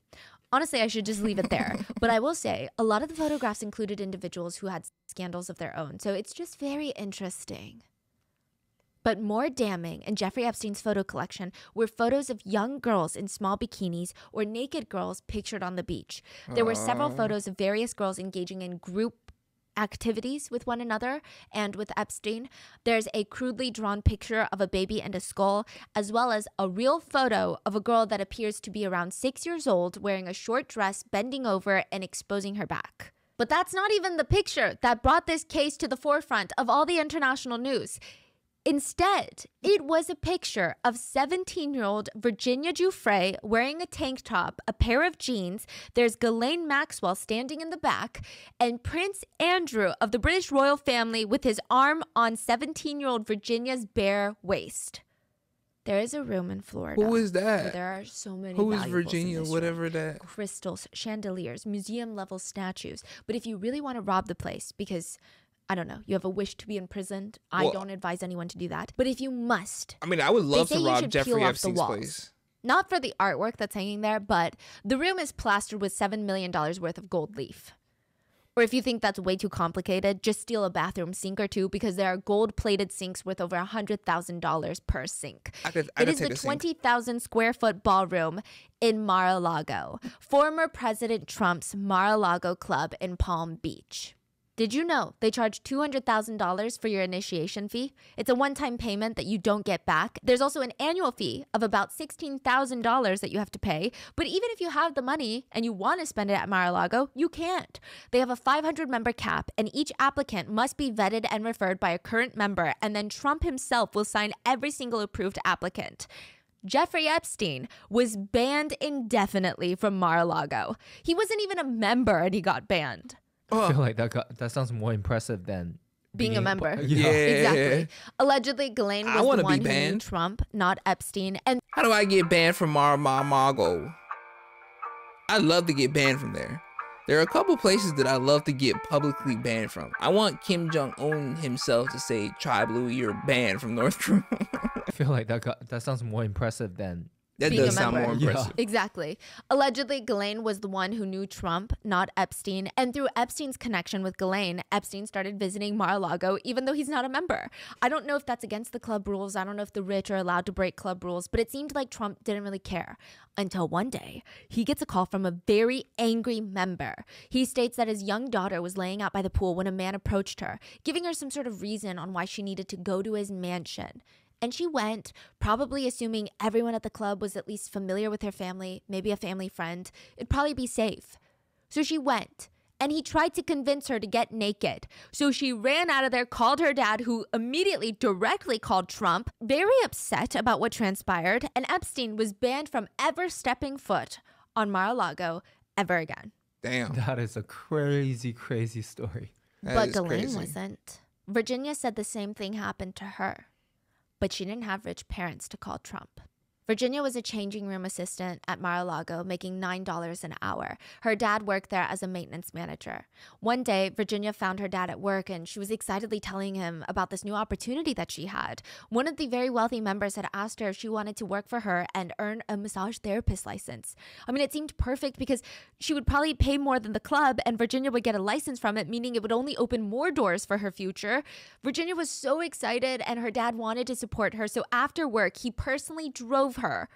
Her dad personally drove her to Epstein's Palm Beach mansion, where Ghislaine met with the both of them in the driveway. Ghislaine reassured Virginia's dad that they would have Virginia home safe and sound later tonight so he could just get home and rest. He trusted them. They're members of the club. So Virginia's dad left. Virginia was escorted upstairs with Ghislaine. She's 16, 17 at the time. She has zero experience with massages. She's never even gotten a massage at this point, so she has no idea how it works. She goes upstairs, the door swings open, and she's shocked. Jeffrey Epstein is laying there naked on the table. Virginia is like contemplating running out, but she reasons with herself because our brains are incredible at reasoning with ourselves. That maybe this is normal. Like maybe you just put a towel over, right? But then Ghislaine starts taking off her shirt and starts rubbing her bare chest on Jeffrey Epstein's body with massage oils, implying to Virginia and stating that this is what she needs to do. They coerced Virginia into taking off her clothes. She just did as she was told. I mean, she didn't know what else to do. That mm. was the very first time the two of them assaulted Virginia Giuffre. Virginia Giuffre would be one of the key victims to take down the trafficking ring. Even the newest court document releases, those were from Virginia Giuffre's defamation lawsuit against Ghislaine. But unfortunately, that also means that Virginia Giuffre would endure some of the worst, most extensive, and traumatizing acts committed by Jeffrey Epstein and Ghislaine Maxwell. Virginia stated that she was essentially loaned out to basically service all the other high powered friends that Epstein and Maxwell had. Virginia said, I was trained to be everything a man wanted me to be. It wasn't just training, they wanted me to be able to cater to all the needs of the men they were going to send me to. They said that they loved that I was very compliant and knew how to keep my mouth shut about what they expected me to do. Epstein and Ghislaine also told me that they wanted me to produce information for them, in addition to performing sex on the men. They told me to pay attention to the details about the men so that I could report back to them. Virginia stated that she was terrified. She said she couldn't leave or speak up sooner because he could have had me killed or abducted, and I knew he was capable of that if I didn't obey him. Mm. She said, I realized that my only purpose for Jeffrey Epstein and Ghislaine Maxwell and their friends was to be used for sex. Virginia stated that she was working with them and Jeffrey had with underage girls on a daily basis. She said his interest in this kind of was obvious to the people around him. The activities were so obvious and bold that anyone spending any significant time at any one of Jeffrey Epstein's residences would have clearly been aware of what was going on. In a deposition, Virginia stated, in addition to constantly finding underage girls to satisfy their personal desires, Jeffrey Epstein and Ghislaine Maxwell also got girls for Jeffrey Epstein's friends and acquaintances. Jeffrey Epstein specifically told me that the reason for him doing this was that they would, quote, owe him, that they would, quote, be in his pocket, and he would, quote, have something on them. I understood that Jeffrey Epstein thought he could get leniency if he was ever caught doing anything illegal or he could escape trouble altogether. Virginia would come forward with allegations that she was SA'd by Prince Andrew three times once in London, once in New York City, and another once in a group activity session on the island. Virginia stated, quote, I knew he was a member of the British royal family, but I just called him Andy. I got news from Ghislaine Maxwell that I would be meeting a prince later that day. Jeffrey Epstein told me I was meeting a major prince. Jeffrey Epstein told me to exceed everything I had been taught. He emphasized whatever Prince Andrew wanted, I was to make sure he got. Prince Andrew would state that he has no recollection of meeting this lady, even though there's a picture of them together when she was 17. But he said, no, no, no, no to all of it. That's what Prince Andrew said in an interview about the allegations. He also argued that the photo of him in Virginia must be edited because those are his traveling clothes that he's wearing. But it stated that the picture was taken in London, which to him doesn't make sense because he only travels in his traveling clothes. Prince Andrew also states that men always remember every single time they have intimate relations because it's a positive experience. So the fact that he cannot remember intimate relations with Virginia basically means that it didn't happen. In the end, Prince Andrew settled out of court, and it's rumored that Virginia Giuffre was given more than $12 million, which I believe she's putting into a charity that she's started. But even with the settlement, Prince Andrew has denied all allegations. Soon after the settlement, the Queen stripped him of all of his royal titles, which was incredibly significant because it is alleged that Prince Andrew was Queen Elizabeth's favorite son. Virginia Giuffre said, "Cages come in many forms." So that means he did I can it. tell you, my cage might have been a golden cage, but it was a cage nonetheless. I was very alone, and there was no way out. Mm. It's speculated that humans evolved to be able to sense when others are looking at us and watching us. Hell yeah. Everyone at the Daily Hell yeah. Ghislaine's dad's I company, that knew that Robert time. Maxwell was watching them. He would bug the executives' phones. It was known that people at the Daily Mirror would have meetings where they just wrote down their thoughts rather than saying it because everyone knew that Robert Maxwell was listening to them. Mm-hmm. Even at home, Robert Maxwell would hide recording devices into antique lamps because he wanted to hear everything his family was saying about him at all times. Jeffrey Epstein allegedly did the same thing. Sarah Ransome states that every inch of his properties, including the island, was monitored with cameras, every single inch. Robert Maxwell watched Ghislaine and everybody else in his life. Ghislaine and Jeffrey watched all their victims, but someone was watching Jeffrey. Who? And I think he knew it. How? He had a new addition to his art collection a photorealistic painting he personally commissioned that depicted a prison scene with him in the middle of barbed wires and guards. This is after he got out of prison the first time. So he gets a photo commissioned, like a painting commissioned of him in prison. And he uh-huh. told a friend about the painting and he said, That's me. I want this painting so that I am always remembering the possibility that that could be me again. Like I could always go back to prison. Which is objectively, I guess, a smart reminder. I guess, the yeah. problem is, Jeffrey got too comfortable and forgot that people are watching him. July 8th, 2019, Jeffrey Epstein was arrested for conspiracy to commit trafficking and trafficking of underage girls in New York State. It's likely he didn't know that he was being watched or investigated or studied because he got aboard his private jet, flew in from Paris, landed in New Jersey, where he was greeted by a fleet of cars, the FBI and NYPD. Damn. The minute he stepped on American soil, he was arrested and placed in handcuffs. Yeah. How did he not know that they were watching him? If he knew, he probably would have stayed in France or fled somewhere else. He had the means, he had the money. The authorities would later find fake passports in his New York City townhouse safe. I'm sure he had more. By all accounts, Jeffrey Epstein seemed genuinely surprised that he was arrested a second time, 10 years after his first arrest. Even after his first arrest, Epstein told the New York Post, I'm not a predator. I'm an offender. It's the difference between a murderer and a person who steals a bagel. He's saying he just stole a bagel. That's it. But now, 10 years later, No. just like the Maxwell empire, the Epstein empire was going to crumble down in disgrace. And everything that Ghislaine had worked for the past 10 years was gone down the drain. Yeah, sure, this trafficking ring.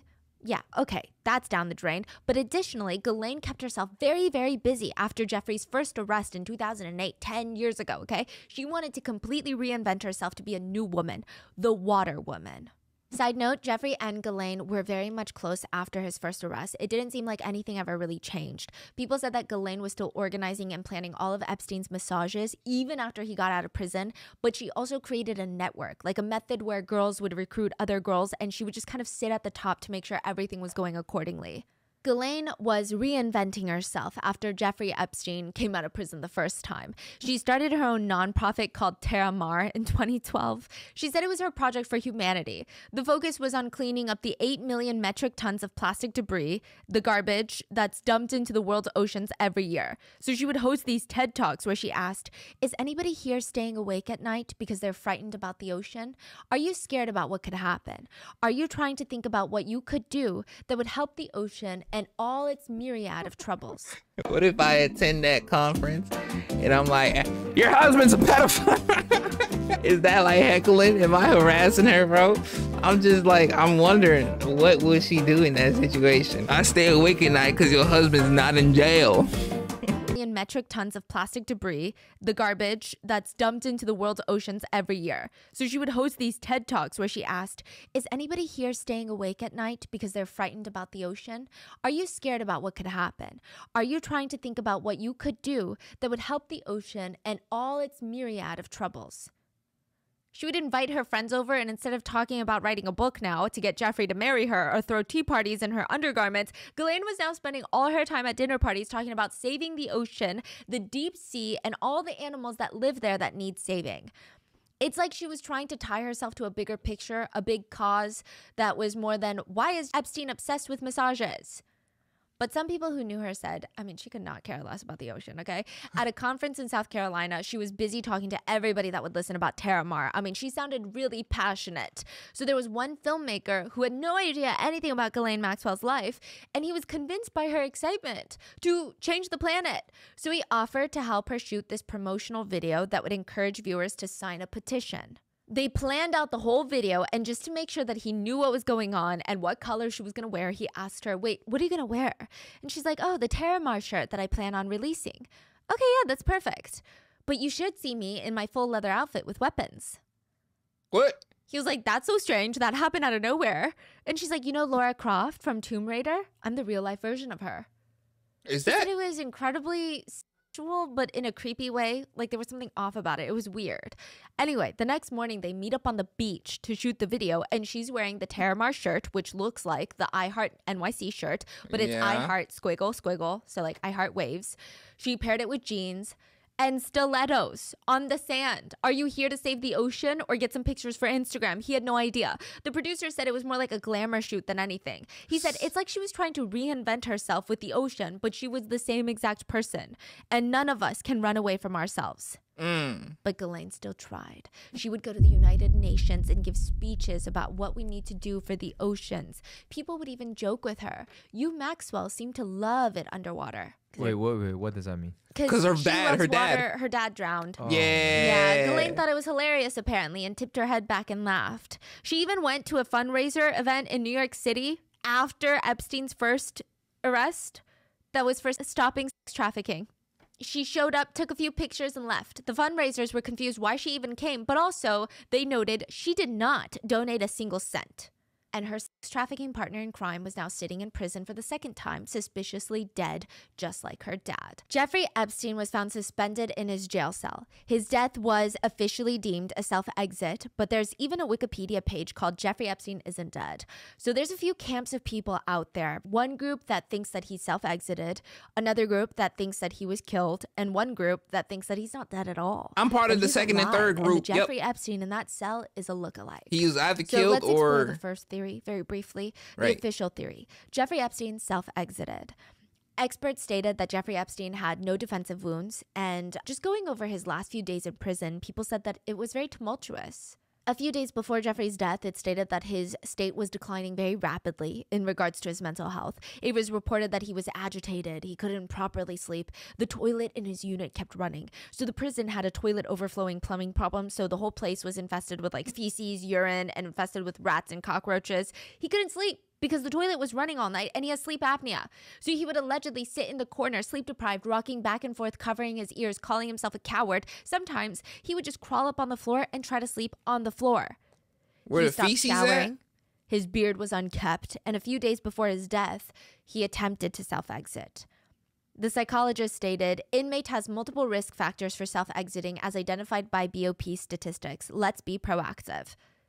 Jail officials noted in logs that Epstein was, quote, sitting at the edge of his bed, lost in thought, and, quote, sitting with his head against the wall. Another facility assistant emailed the jail official stating Epstein seemed, quote, dazed and withdrawn. She wrote, just to be on the safe side, can someone from site come and talk to him? He also left a meeting with his attorney to go call his mom. His mom has been dead for 15 years. Damn. So it's speculated that perhaps he was losing his grip. Others felt like by self exiting, Epstein was getting the last laugh. I mean, it's like he was saying, screw you, which a lot of people close to him said that it would fit exactly what Epstein would do. He was someone that wanted to have control till the very last end. He wanted to have the final laugh, the final say, the final word. Days before Epstein's death, he was making adjustments in his will that would impact how his assets were going to be handled. He changed it so that his $500 million ish fortune would go to a trust in the U.S. Virgin Islands, the 1953 trust named after the year he was born, but we have no idea who the benefactors of this trust are. For all we know, he could still be paying the people who helped him commit these crimes. Right now, Yeah. nobody knows where his money's at. This was really purposeful because by putting the money Y'all want me to tell y'all where the money at, bro? It's with him, bro. He put that money in the trust, used 30 million to fake his own death, probably got himself a little surgery. Shit, he probably look completely different now, bro. Mm-hmm. He's not that. Dollar ish fortune would go to a trust in the US Virgin Islands, the 1953 trust named after the year he was born, but we have no idea who the benefactors of this trust are.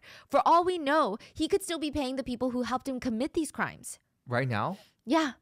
nobody knows where his money's at. This was really purposeful because by putting the money in a Like, trust in the US Virgin Islands, it would be really hard for the victims to get money.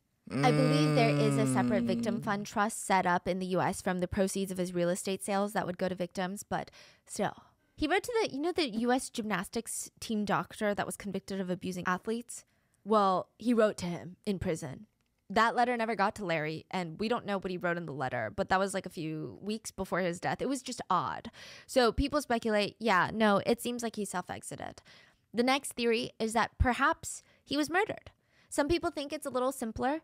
Maybe he was murdered by someone in prison, you know, and maybe someone high profile paid someone in prison to do it. Maybe the inmate just didn't like people that abuse children. I was gonna say Others prisoners stated, no, don't like he was child murdered molest. by high profile people. It was a hit job. yeah. I don't know, but I do know that the guards, the two guards that were sitting 15 feet away from Jeffrey Epstein's prison cell when he was murdered or when he was dead, they were supposed to do rounds every 30 minutes, but they Uh-huh. didn't. They just forged the documents and the records to make it seem like they did, but in reality, they were on their phones online shopping for furniture and motorcycles. They also fell asleep for two hours. They stated it was because they were overworked due to the lack of staffing. There were only 18 guards in the entire prison that day. That's 12 stories tall and houses close to 800 inmates. Damn. One of the two guards was on a 16 hour shift. So that was kind of their excuse of that's why we didn't realize that he was dead in his cell. But other mm. people thought maybe that's not why. Maybe it's because you're not supposed to tell us what you saw. Did someone mm. come in and kill Jeffrey Epstein and stage it? Maybe the guards weren't paying attention. Maybe they were.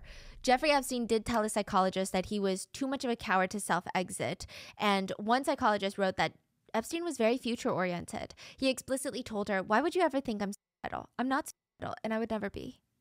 It's also stated that Epstein was supposed to be hopeful when he died because his attorneys were on the verge of filing a motion that would argue his non prosecution agreement in Florida would apply in New York City somehow. So I don't know. There's other arguments where people argue where his ligature marks were on his neck. So people were saying, regardless of his mental health, they believed that the marks on his neck were not consistent with self exiting. Netizens stated that the marks on his neck were too low. When you're suspended, the marks would naturally be higher up near your ears. They stated that the lines on Epstein's neck were more consistent with someone coming up behind Epstein and strangling him. But I would say most people think that Epstein was killed by someone powerful. After Epstein got out of prison the first time he was arrested, he allegedly joked to his close friends and said, Everyone thinks they know me now, but no, I'm the one that has everything on them. It's insinuated that Epstein had blackmail on powerful people. The theory, the conspiracy, the same source does not think that Jeffrey Epstein killed himself. They stated that he is way too important to way too many people. There are stories that came out that Jeffrey Epstein had every single guest bedroom and every single property, even the bathrooms, wired with secret hidden cameras. He was able to record very powerful people having with underage girls. Oh, he had yeah, saved all of those tapes and used those to gain his own power and wealth, and that's why nobody knows how he even made his money. A lot of victims stated they never saw him work a day in his life. No business calls, like nothing. It was weird. And nobody really knows how he made his money. Netizens say it aligns with victims coming forward saying that Epstein would tell them to snoop on all these men that they were being abused by and bring him all these salacious, secretive details about them. But then on the other side, you have people saying, but why haven't there been official mention of any of these videos? Or why haven't they been not released, but taken in for evidence and everybody involved would have been arrested? Yeah. The conspiracy theorists say, well, because everyone in the videos are too powerful. Not in the sense that they can control the government, but in the sense that if they all go down, the world will see just how corrupt our world leaders are and our industry moguls are, and people will turn from the government. All trust, the social contracts will be broken. There will be some sort of uprising. That's the theory by netizens. It would be too damaging because it's not just one politician, it might be all of them. There are conspiracy theorists who believe that Yo! That's crazy. I ain't gonna hold you. That's actually really, really wild. Hell yeah, it would be damaging, bro. Imagine seeing some of the people you voted for on that list. There are conspiracy theorists who believe that world order would be absolutely destroyed with the knowledge of these tapes existing getting out. And then you have the theory that he's not really dead. There is an alleged photo of Epstein from his cell, dead, and allegedly the photo doesn't add up with the facial proportions. So his ears and nose don't match his photo when he's alive, the side profile. So the alleged photo of him dead shows a much more curved nose at the bottom, at the tip. Who is that and the nose bridge is a bit slopier. But Jeffrey Epstein's side profile from when he's alive, the nose bridge is a bit straighter and it's a little bit more pointed at the tip.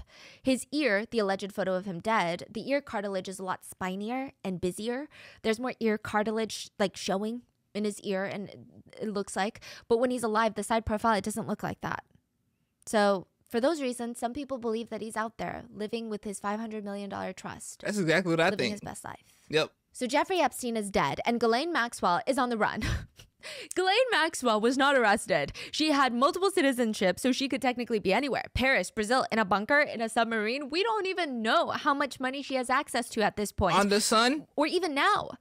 So, July 2nd, 2022, 11 months after Jeffrey Epstein's death, in a tree lined hill of New Hampshire, like in a cabin, which cabin fuck? makes it sound like she's in the woods, being one with nature. This Mm-hmm. cabin is massive. It's surrounded by endless, beautiful pine trees. This It's shit a look luxury gorgeous. oasis. There's a giant window that's like two stories tall. Yeah, this is letting in all exactly where I would wanna It's be, I'm not gonna hold you. It's isolated. I would imagine if I had to rent this cabin for a month, it'd be tens of thousands of dollars. It's a beautiful, luxurious, well equipped facility. And it even has an ironic name. It's Tucked called Tucked away. Away. Helicopters start flying up above the trees. Authorities and squad cars show up. Officers are hiding behind the tree trunks. And they know that Ghislaine Maxwell is in there and they're not leaving until they get her. So why is she in the U.S.? We don't know. A lot of people speculate that she thought it would just die down. People would just kind of get over it. What? Yeah. How would This is a little goofy, but I mean, you have the FBI out there trying to get Ghislaine, and she knows this. She's done for. Like, she still tries to flee. She runs from room to room trying to outrun the FBI. They eventually found her, caught her, and her phone was covered in tinfoil because she thought the aluminum foil would block her cell signal. No way. a fucking dummy? This is There's crazy. no she was arrested at 58 years old and she was facing 38 years to 50 years in prison. Damn. Now, people who knew Ghislaine personally said that she She's in there for like a life. shark, a great white shark. A lot of people say that she's a shark that was dealing with a lot, that she was struggling with deep insecurities, probably caused by her dad. I mean, there are theories that she was just looking to find another Robert Maxwell for her life. It's like she was chasing that feeling that she's never enough but wants to keep trying for a man.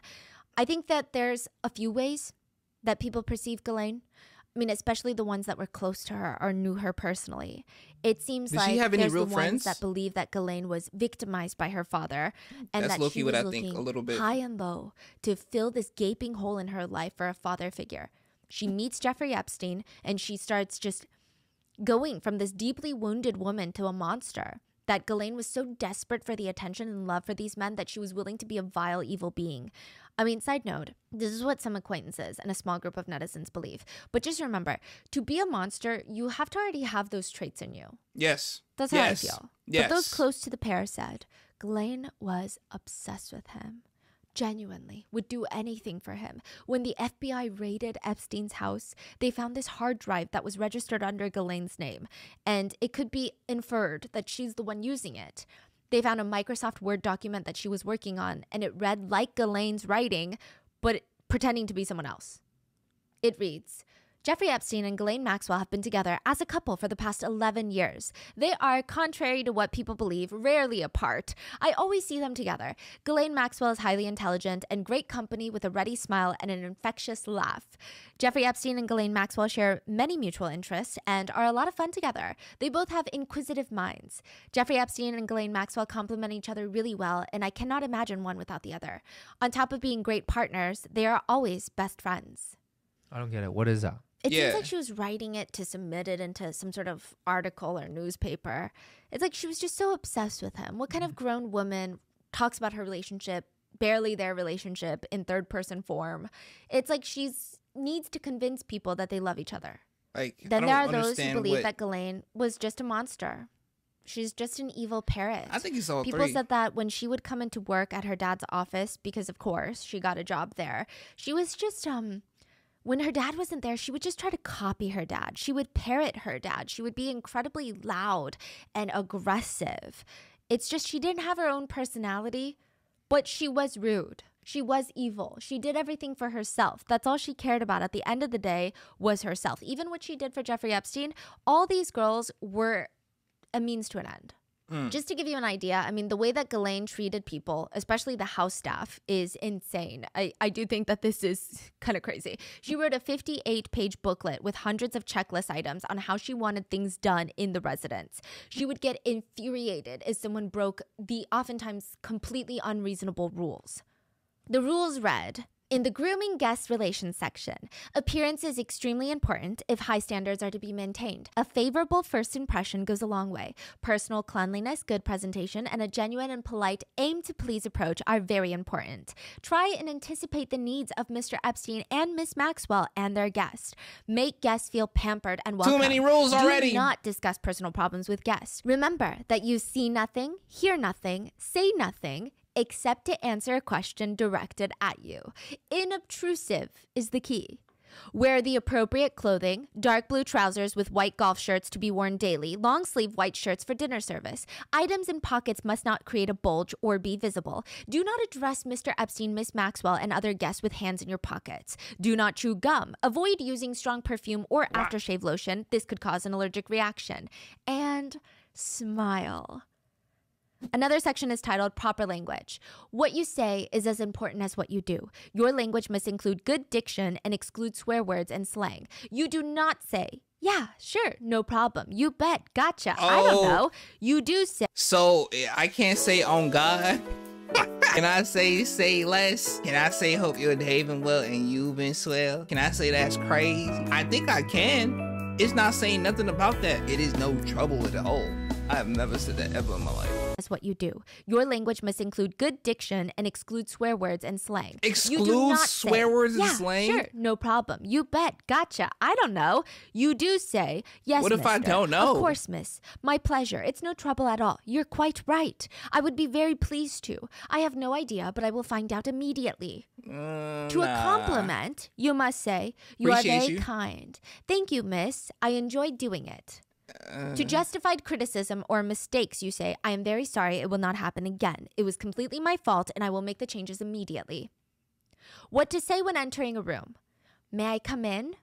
Greet whoever is inside the room. You do not expound on weather or any other subject unless asked. You provide your service and then ask, Is there anything else I might do for you? If not, leave the room.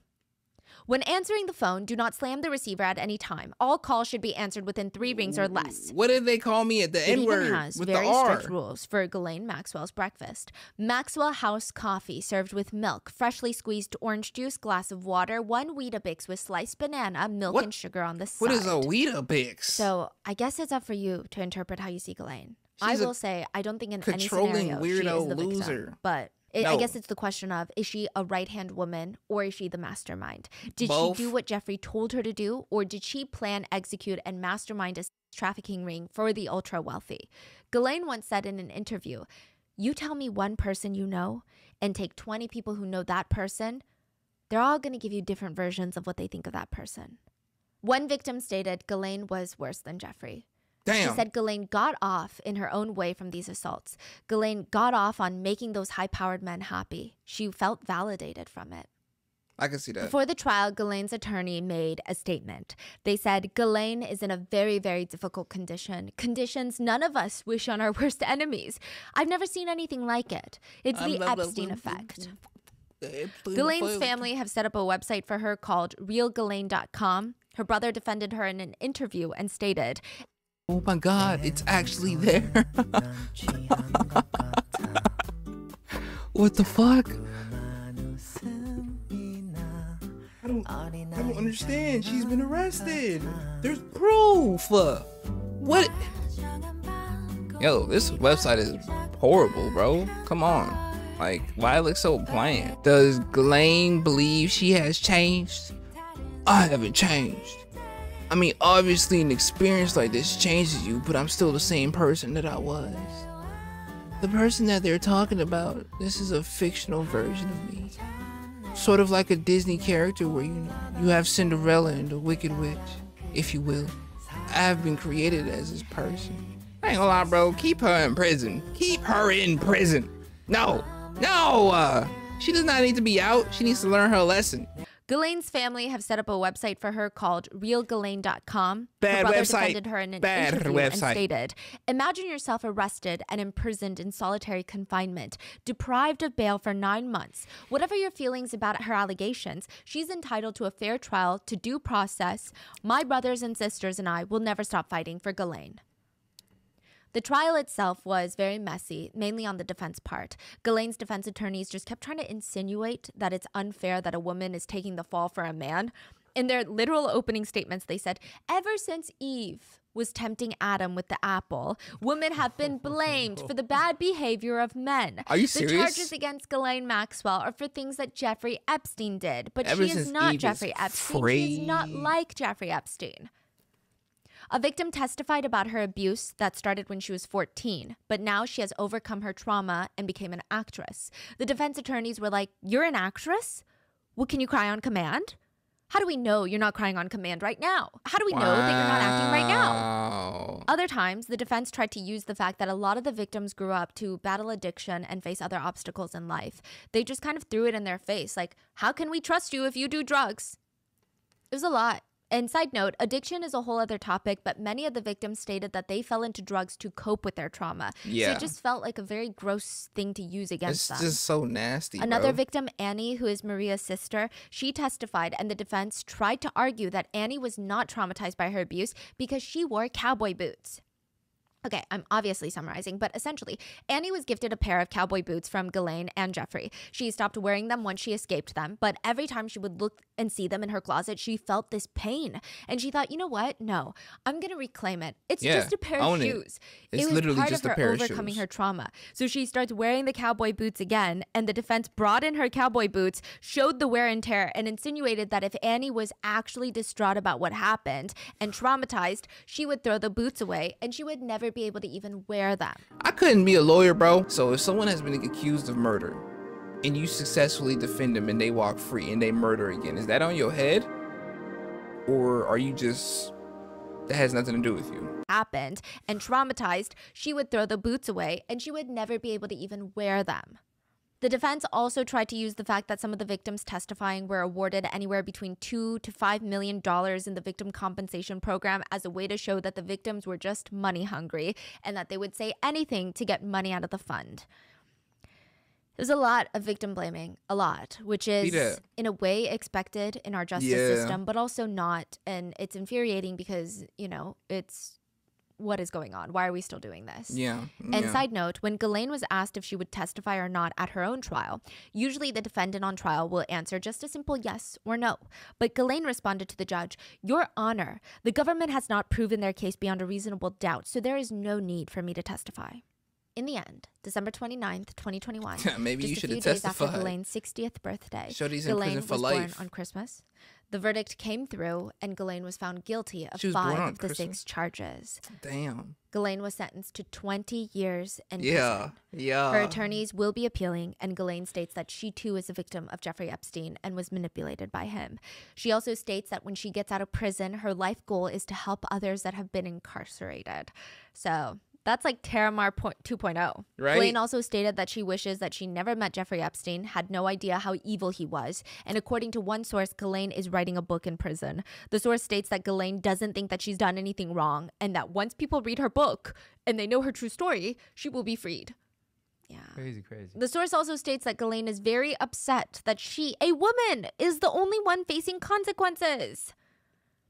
Ghislaine is also adamant that the picture of Prince Andrew and Virginia Giuffre when she was 17 was forged. It's a fake edited photo, so it's wild. She also has zero proof. She just says, I don't know exactly how many points there are, but there are over 50 problems with that picture, so I don't believe it to be a true picture. 50 problems. I will say the FBI had it in their possession and never brought up any suspicions that it was altered. Who? So hopefully, Did Ghislaine Prince Andrew- a very long time in prison. Didn't he get his title But there are stripped? still a lot of unanswered questions with this case.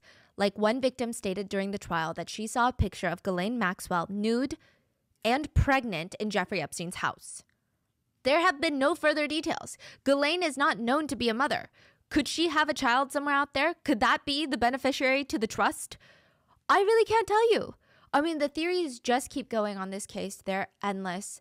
But I will say the victims who have come forward to go up against people like Jeffrey Epstein and Ghislaine Maxwell, they are the ones with the true power. crazy. They are incredibly brave and admirable. Shouts and out to them just for to real, give you an real. idea, in the 58 page rule book for the house staff, a page reads Preparations checklist for master bedroom. Set air conditioning at 60 degrees. Two lighted pens on both bedside tables. Jeffrey Epstein's large and small notepads on both bedside tables. Box of tissues on each bedside table. Replace if less than one third full. Gun placed in bedside table drawer. And that is the full case of Jeffrey Epstein and Ghislaine Maxwell. I mean, there's a lot more online if you're interested, but these are just what we know of them from online sources, those acquaintances, anonymous sources that have come forward. And I don't know, it's just more messier than I thought it would ever be. Yeah. What are your thoughts? Let me know in the comments, and I will see you guys on Wednesday for the next episode. Bye. Big sis Stephanie. I'm not even gonna hold you, bruh. First of all, keep Ghislaine Maxwell in there forever. You know what I'm saying? Okay, not forever, but like like she said, there are three portions. She was manipulated. She wanted to do this. She's been searching for approval from her father and whatever male figure is in her life, bro. I think it's all three of them things. Spend some time in prison, learn her lesson. We need to figure out where that $500 million went. That's a lot of money to just disappear into midair. You know what I'm saying? Combine that with the fact that Jeffrey's dead body don't even match him when he was alive. Is he dead, bro? Let's just keep it real. Is he really gone? I don't think so. That's me personally. Don't take my opinion for it. I am a dummy. I have papers and everything. I, I don't know where they at. I lost them like a dummy. I don't want to ever judge anybody for. I mean, sometimes you need to be judged for the things you do to make money. Cause it like sometimes it's just wrong. But I don't want to judge people who have been hurt in the process of simply just trying to survive. I don't want to do that. I will say this though. Like that lifelong trauma it's not worth it. I, I, don't. I just don't think it is. Stephanie, great information giver as always. Fuck Jeffrey Epstein. Fuck Giselle, Ghislaine Maxwell. I love. I love you. Boom boom. I'm making my heart beat. Boom boom. Have a good day. I ain't gonna take up much more of y'all time. Your presence was, as usual, amazing. Have you been drinking your water? Huh? Have you been drinking water? Have you? Great. Good afternoon, good evening. Bro. Good night. Good yeah, night. it's the end. Huh? Leave a like and share it to your friends and your kin. Huh? When I post a video, I'm gonna need y'all to attend. Huh? Thank you for the view, huh? but I ain't done with you. 2023, I'm about to be Jordan with the flu. Huh? Yeah, join the tribe. Huh? Yeah, join the tribe. I'm gonna need y'all to subscribe.